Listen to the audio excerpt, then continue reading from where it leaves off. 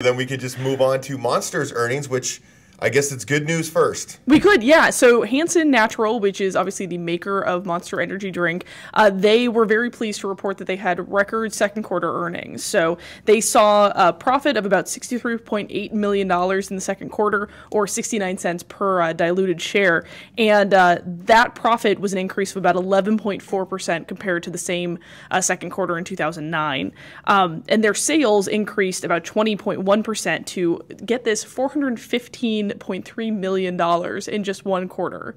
So that was just the three months in the second quarter. Well, and that seems to be to coincide with their, their big splashdown in, uh, I guess it's Western Russia?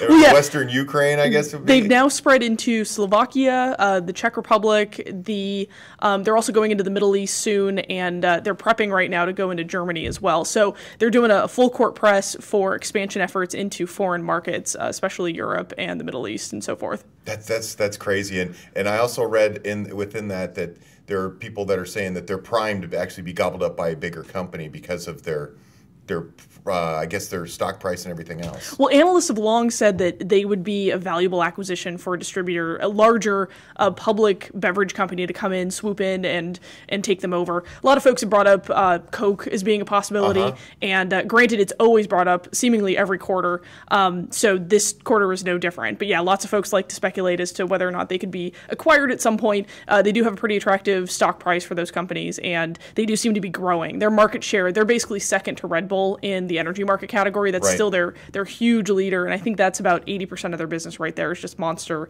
Energy brands. Yeah. It, it, sounds like they'll probably catch up to them. And Coke is their distributor. Is that correct? Correct. Yeah. Right so, now, Coke is their distributor. So it would be, make better sense for Coke anyways, because that vertical integration they basically kick someone out of the loop, and a little bit more profit goes their way. Well, so, yeah. we'll see.